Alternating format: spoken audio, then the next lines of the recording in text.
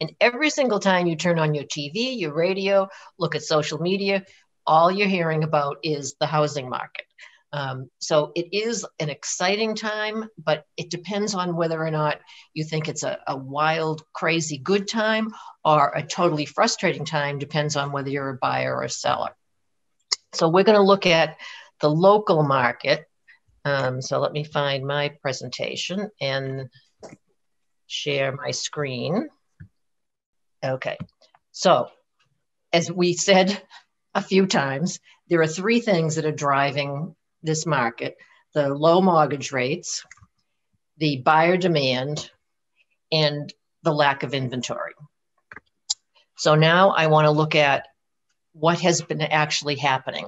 So we're going to look first here briefly at Carroll County statistics, and then we'll go into the local.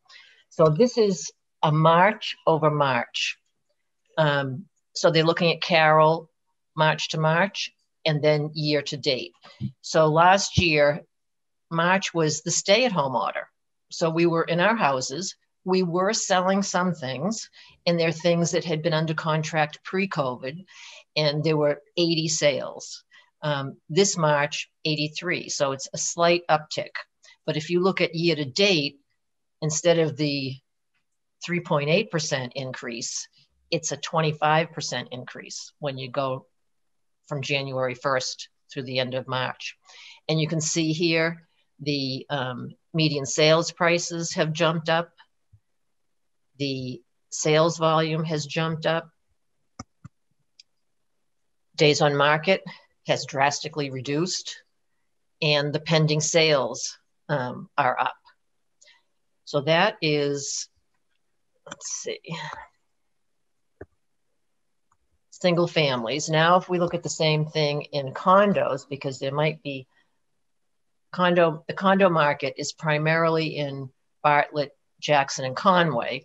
Um, and we look at that, you can see in Carroll County, it was up from 17 to 21, March over March, but year to date, we're up to 50 closings.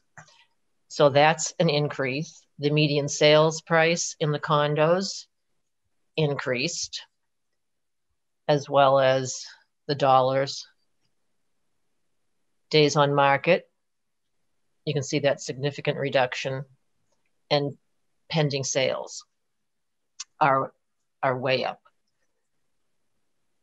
So we're going to look at things two ways in single family homes. We're going to look at all of these towns in our area. So we've got Albany, Bartlett, Conway, Eaton, Freedom, Hales location, Harts location, Jackson, Madison, Ossipee, and Tamworth. Those are the towns that I used for this data. And this data came from our um, MLS, which is the New England Real Estate Network. So if we look at 2019, there were 124 sales. This time period. So it's like from the first of the year through April 25th. They had 124 in 2020. We had 128 sales, but this year 164. So we are talking about a lack of inventory. Part of that is perception because they come on the market and boom, they're gone. And there are still so many more people looking to buy. Um, so it feels, I think, even worse than than the reality. I mean, it feels that way to the buyers because they're being unsuccessful in securing a home. But you look at the number, 164 sales. So you look at your days on market in this whole area, 59, 38, down to 12. So that's 2019, 2020, 2021. So you can see that percent of change it's way down for the market time. The sale price, um, it actually went down in 2020, but again, we had the stay at home. And so there was like a, a shrinking of the market at that time. But then you get to this year and the price, the median price has gone up to 299. So that's like an increase of 25% over last year. And you look at the, the sales volume here, 38 million, 36 million. This year, 59 million. So we have more closings, higher prices. And that has been like a higher, higher volume. So that is that general area. Now, when we looked at who was going to be on today, a lot of them seem to be interested in the Jackson Bartlett Conway area. So now this is just focusing on that area, those three towns. So we had in 2019, 66 sales. The next year, 60. Remember the stay at home. Then we come to this year, 80 sales of condos. So that's an uptick of 33 over last year, 33% more. The market time for the condos went down dramatically 45 days, 30 days, eight days. And you can look at your sale price. Now look at the difference between 2019 and 21, 2021. from 282 to 306 up to 363.5. We have seen some really um, surprising numbers in, in the condos. And then we look at the sales volume and you can see it jump up in millions, 23 down to 20 during the stay at home, and then up to 32 million this year. So what I thought I would do is have it, we can look at these. So this is 219. If you know about what you think your house might be worth, you can see where the bulk of the sales were. So that hasn't changed much. It's it's in the bulk of them are under 400, 400 and under. Um, you see the most sales, and as you go up in price, the number of sales go down. So you have a narrower market, the more expensive price range you're in. And if you go over here, so this is now 2021, you can see how many you have.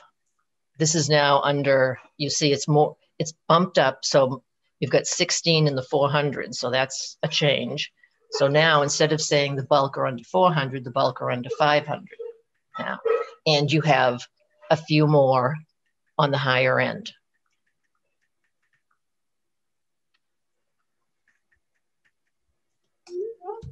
So, uh, Kathleen, can I yep. quick question? Those numbers, 80 sales, 60 sales, those are year to date numbers, correct?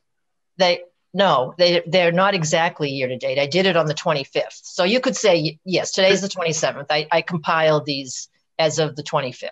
Okay. I just I don't want to look at the fact that some of those price points had zero sales and think that they didn't sell a single house for the year. But that might have been first quarter of that year did not see a sale in that price point. I am comparing the exact same time period over three different years. Correct. So okay as it says, it is January 1st through April 25th of 2019, 2020, and 2021. So yes, it's a little, it's like the first first quarter plus. plus. Sure. Yeah. I mean, you had to be consistent to compare. Yeah. Mm-hmm. Yeah. Looking at condos, you can see there weren't as much of a change, but 53 to 50 to 62. So it's up 24% over last year for the number of units sold in this time period. But look at your market time 42, 14, down to four days. And that's a median. So that is down like 71%. Your sale price went from 195 to 235 to 263. So that's a significant increase, as well as the sales volume. So, yes, we are in a hot market. We need more housing inventory. And the question is are we in a housing bubble? Well, according to the National Association of Realtors chief economic, economic advisor, Lawrence Yun, he says this is not a bubble, it is simply a lack of supply. Um, with this kind of demand, I can't see that it's going to go way down anytime soon, unless, as Diane said, something unforeseen happens. But of course, we have seen something unforeseen, which was a pandemic.